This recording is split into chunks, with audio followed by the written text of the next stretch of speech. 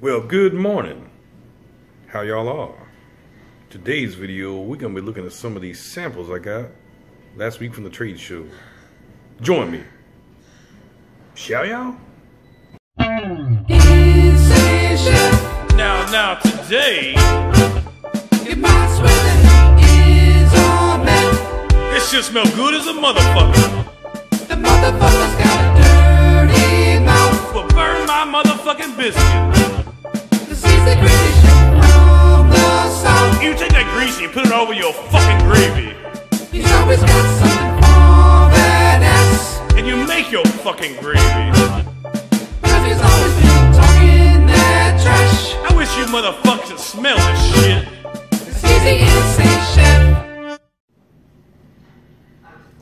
Okay, so for today's episode, we're gonna check out the Mike's Hot Honey infused with chili and the Davina Sour Cherry spread on this little croissant here.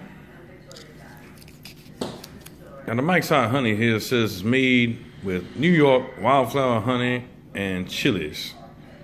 Enjoy on pizza, fried chicken, cheese, tea, salads, or ice cream.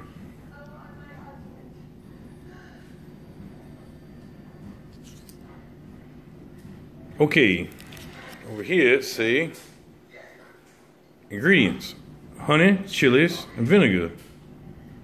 Strange combination. So I ripped that off there the tail notch here. Let's see what this looks like on a plate here. Kind of looks like honey with some chilies in it. There's the consistency of it right there. If you look back at some of my previous video, you will see where I had done some video on honey tasting before. And some of it was absolutely terrible. I'm hoping that uh, this Mike's Hot Honey will be better than those. Okay, folks, here we go. Let's give this a shot.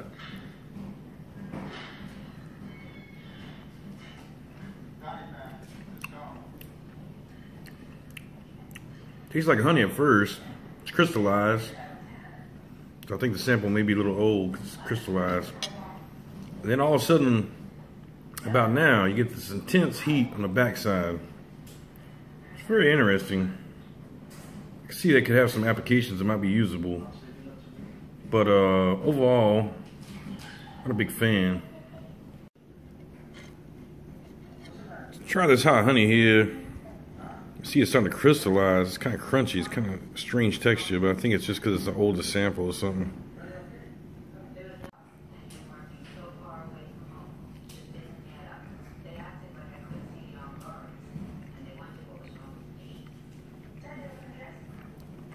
It's not bad. Different. It really just tastes like honey when you first taste it, and then all of a sudden, boom, intense heat. Hmm. Interesting. Okay, so now it's time for that Davina sour cherry spread. Ingredients are sour cherries, pure cane sugar, fruit pectin, citric acid, lactic acid. What's that see there? My eyes ain't so good anymore. Ascorbic acid may contain occasional pit, pit fragment, or stem fragment. Refrigerate after opening. Well, if you don't eat all this in one serving, something fucking wrong with you anyway. Why the fuck you need to refrigerate 0.7 ounce? Okay, let's see what it tastes like. Okay, so it looks sort of like a jelly. Yeah, just like a normal jelly. Let's see what this here sour cherry spread from Davina tastes like.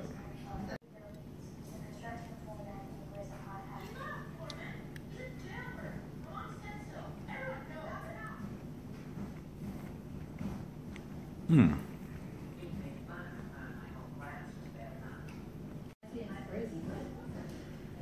I mean, damn.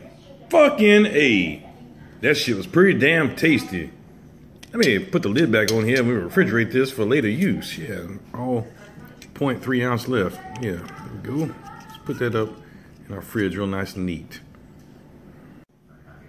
I ain't refrigerating that shit. This should be good as a motherfucker. I mean this shit right now.